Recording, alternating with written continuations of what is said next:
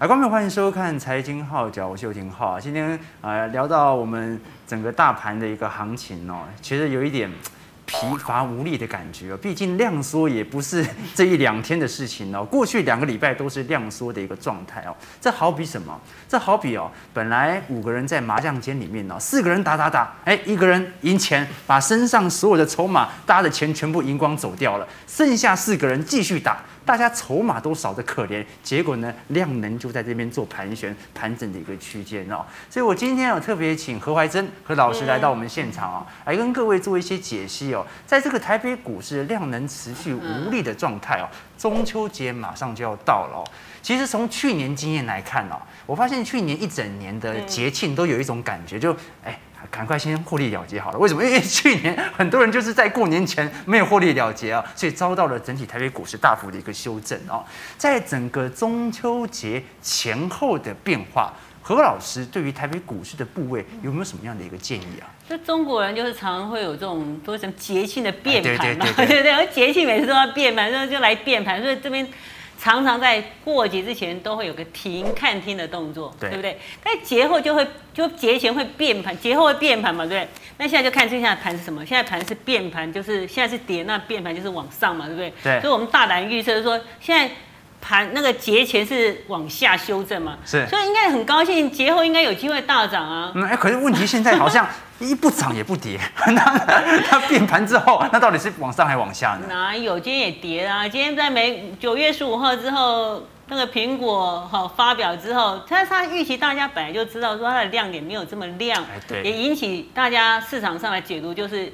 呃，利那个消息面之后的利多出尽或者 现在严格说，今天大盘已经出现一个曙光。我现在坦白跟大家说，哦，怎么说？因为这个盘本来就是它没有量嘛，一直没有量，好好几天了嘛，已经很久了，最少三天以上那量都缩到三千亿以下，很久了哈。那你看这个量都连续三天，今天又没有量，最惊讶是今天大盘已经。九盘必跌嘛，对不对？它也跌了，但是还是没有量。今天预估量还是两千五百多亿，嗯，所以代表说这行情已经筹码里面已经洗得相当的干净。我们大胆的预测嘛，嗯，所以代表什么？这行情大家都知道哦，包括你问我们的周边，包括你认为这个大盘很强吗？感觉就是弱弱的、疲乏无力的感觉。不要说啊，现在我自己也知道，这行情看起来就是真的讲的。我说要大涨，那是真的骗你的。这行情真的是弱的。我反而觉得这个时候啊，用季线是否站稳或者成为压力来看的话，就没有那么准了，对不对？你看现在的季线或者月线呢，往往是一天跳过去，一天又回来。有没有老师有没有看过那个这个周星驰一部电影嘛？那里面就讲说，我跳过去了，我又跳回来了，九品芝麻官，对不对？就好像现在从技术角度来分析季线是否具有支撑效果，好像已经不合时宜了。像现在你现在每个人都对哈，因为现在很多人都学习都很厉害，包括年轻人，那技术线都都是高手了很多，高手如云。所以其实的确你讲的没有错，季线已经不是重点，重点这个筹码面很重要。哎，好，我是觉得筹码面很重要，所以你第一要观察三样东西。我们简单说就是说，台币是不是在持续的升值？嗯，哦，还有包括，当然这是一个基本面的地方，当然。半导体的供不应求是大家知道，但是这种已知的利多有时候反而就大家会有点疲乏。它到二零二年下半年都是都是都是 OK 的，但是这长线来讲，这种是半导体供不应求的情况的话，半导体族群一定要逢什么大跌你去买进它，因为是好公司嘛，它成长性一定够，这是我的重点。还有包括就是说上市公司的基本面实际上 OK 的，八月份的营收整体性还是创了历史新高嘛，对不对？那这样子都是代表说，哎，我们这未来九月、十月之后，哈，在这个电子股如果能带动之下，我认为这个大盘，毕竟往后只要今天的量是下跌之后，当然往后的话它还是 OK 的，而且在严格说，台湾的大盘整体性的本益比还是相对比美股来的。低很多，这是我认为的地方啊。这其实很有趣哦，因为刚才何老师讲了，其实市场上短期股价的变化，其实它并不由基本面做决定。我最近还在想说，本益比叫做股价去除以 EPS，那 EPS 都一季才会做一次大幅的调整嘛？那股价。每天都在变，所以积极的高低是谁来决定的？是市场情绪的高低哦。不过这个时候我们就要思考一件事情了，就是说短期的股价一定会有波动，筹码面会影响到股价，市场的情绪也会影响到股价，中秋节也会影响到股价，但是股价始终离不开它的价值，就是一个规律性，对不对？它的价值啊。那所以接着就是投资朋友就很很了解说，现在为什么大盘会这样？现在就是台湾是浅碟式市场嘛，对。那浅碟性市场基本面什么都没有用，那怎么筹？筹码面最有用。嗯，那因为我们台湾的有一个什么对这些外资哦法人都什么特别，大家都喜欢。呃，他一话术也跟党啊，就 这句话你应该听得懂。他只要讲什么就好，我们都是要跟着后面走。所以的确，常常有人这个地方也说，台湾的股市完全就什么，就是被外资外资之乱，就是外资哦买就全部一涨，它没有基本面的问题。是。但是说现在我们要先回问，哎，这个筹码外资到底会不会再买？我们要先去判断这个方面。是。好，那我觉得说。外资昨天严格说它它的净空单是增加了，就是因为节前的变盘，这样它总是两边。我唱我我有个净空单，你一定要注意，它是又增加到快四万口，才三万八千多口。那有代表外资是转空吗？没有哦。结果他钱又买什么？他这两天是持续买台股，还买的比投信法人来的多。他买的是金融股，嗯，那代表什么？他钱留在稳盘，对对对。他台钱是留在台湾，他是因为知道这个地方可能会受到苹果，他发表之后会有一个回马枪，所以他留在资金先买在避险的，因为外资的资金是一定要买股票，不你留在台湾不买股票，政府会强迫你啊，对不对？会会给你喝咖啡啊。是。那所以他这个地方当然他是买金融股，但是他要避险。两边代表什么？它就是这个地方有点保守啊，它相对以比较沉稳的一个态度来看待台北股市啊。不过我们现在拉回来看哦，其实台北股市啊，从筹码面的角度已经发现了一些变化了。最近钢铁股啊，虽然涨势凶猛，不过在过去两天开始呈现了一些回档啊。何老师是怎么看近期啊，包括钢铁价格的一个上涨，以及啊台湾的钢铁股是不是有一些蠢蠢欲动的感觉？在钢铁的利多，尤其是钢材啊，包括热轧钢哦，在美国在九月份的话，美国这个这个这边的话是涨价到两千两百块美元哦，那这样是相当高，也创了历史新高。那十月份还要再涨，那为什么股价这个地方只独后了一档中钢构？对，哎，其实中钢构这两天也在疯狂的回调呢。那为什么只有中钢构？因为所有大盘没有量，它只能拉一些小型股。中钢构，而且中钢构是中钢的子公司嘛，嗯，所以终究我们还是要回到开大门走正路，我们要看一下中钢未来有没有机会。嗯，好。那严格说，在当然这地方，大陆落实的这碳中和的目标也减产嘛，这个大家都知道，六千万吨以上，还有包括俄罗斯已经准备八月份开始要克这个临时税，这个就是一个呃，它有点像是饥饿行销一样，它把它紧缩之后，当大家就会什么，这个地方可以提高它的一个价格，所以拉动了钢铁的需求，这个地方会有翻扬。好，那当然，未来在这这个地方的话，要最注意的就是我们要讲的还是中钢的盘价，大家都应该都预期中钢的十月份的盘价还会再持续的上扬了。嗯，好，但是现在接接了这个地方是它力度的部分，那好，那我们它到底会上扬，在股价会说话。那的确，它的券资比目目前的话，从四点九一已经慢慢升到七点一二，它就整体性的钢铁族群。嗯，真正涨的是涨中钢构。哦，所以我认为未来的卷资比应该会微微的下降，哦，这个是我们要讲真话哈。那当然，钢铁股的目前的轧空的力道还是相当的强，所以如果钢铁股真的要动的话，你还是要回归过来看中钢，中钢这档股票有没有办法快速的站稳四十块，因为它是一个非常大的大牛股。嗯，但是好有好现象就是说，进来的外资。法人一直持续的买中钢，买中钢，买中钢，买不停的买中钢，甚至它的成本就已经垫到，好前两天他买一个快七万张，已经垫到在四十块以下。前两天，嗯，就是九月十三号那一天，所以中钢甚至他买超是第一名的。所以从这个地方告诉你说，因为外资最有钱，他买的股票全部都是防御型的股票，对，也一定会涨的。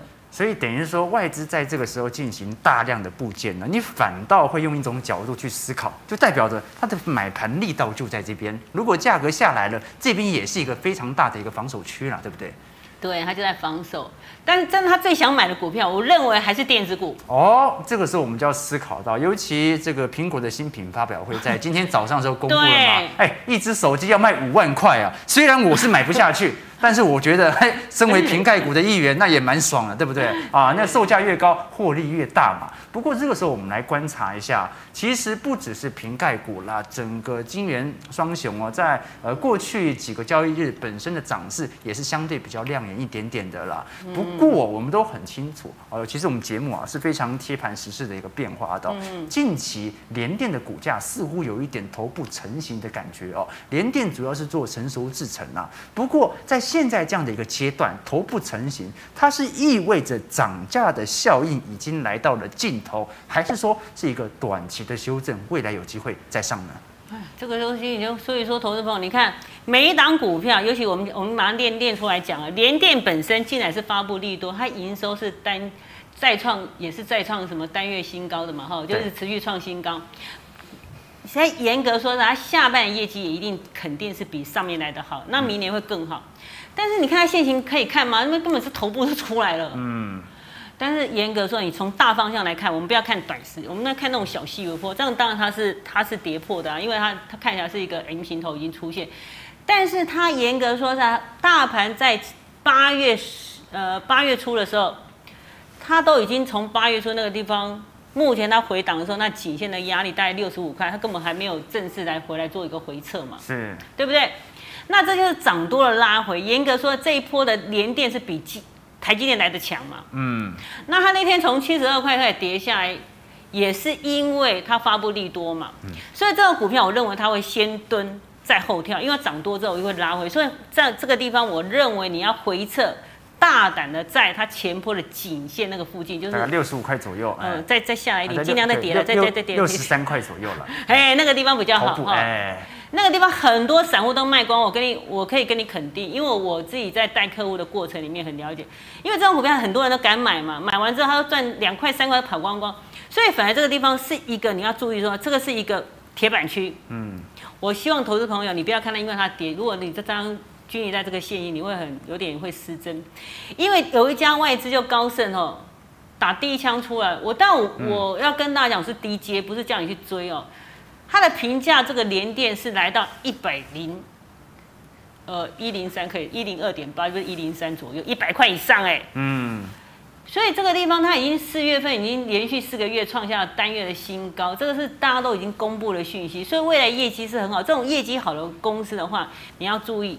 拉回早买点，不要太介意线性。其实什么地方最好买？当然是最好是到年线啊，到半年线啊，大胆买啊。不一定等得到，所以我们季线都等不到嘞。对，所以所以从上一波的颈线位阶就可以来做一些留意了。不过我们都很清楚哦，现在市场的焦点似乎又已经到了瓶盖股身上哦。啊，今天早上的这个新苹果的新品发表会啦，其实不管是针对 Apple Watch，还有苹果的新机啊，都做出了一些整体的一个大拐砍哦。不过这个时候我们要关注一下台北股市的平盖股是不是有一些动作呢？何老师的观察是啊，这一次的瓶盖股就是什么，大家没有很惊讶，没有很 surprise 嘛，因为差不多大家都预期都差不多嘛，跟我们之前大家预期的都一样，没有什么特别新。我刚才才跟那个何老师聊到，亮点好像没有嘛。我我刚才在跟何老师聊到，我说你现在是用 iPhone 几？iPhone 七啊，我现在 iPhone 没有啊，iPhone iPhone 七 Plus 啊，七 Plus 哦，很。这个因为太好用啦，太好用也是一个缺点，就找不到理由换新机，你知道吗？因为换新机很多东西都要都要啊都要更新，有时候很麻烦，而且我们很忙碌，当然是希望尽量都是简单为重点。不过这也说明了苹果整体的粘着性是好的啦，对于整个客户的产品的使用。不过我们拉回到台北股市的瓶盖股方面呢，近期有没有非常波动度跟瓶盖股啊以及新品发表会有连接度非常高，值得我们做一些留意。实际上，严格说，在苹果这家公司在美国是频频频的创新高。不管你任何的时候去买它哦，就跟台积电一样，你只要买的人都都会解套，讲呃不要，就一定会赚钱的啦。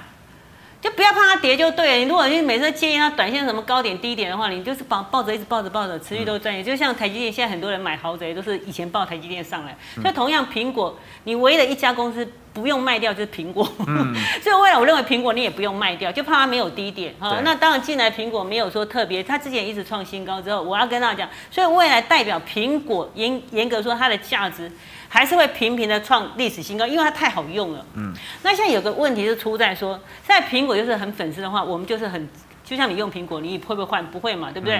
啊，为什么不换机槽？是因为它太好用，所以它品质是很 OK 的。但是毕竟它一年才发表一次发表会，这一款的新机还是会引起什么我的换机的需求。对，因为第一个它价格没有说你觉得很贵吗？我觉得还它最便宜的有两万二的 mini 啦。对对对。不过那个我眼睛可能看不清楚说实在，他他，很严格说起来，他真的你自己用用看，真的你用了苹果你就会。屌了，你真的你不想去用别的我还？我真的如果要我换呢，我还是换五万块那个，你知道因为对对用用苹果有一个习惯，手机变大变小，你是回没办法回去看的。对呀，没办法接受，对不对？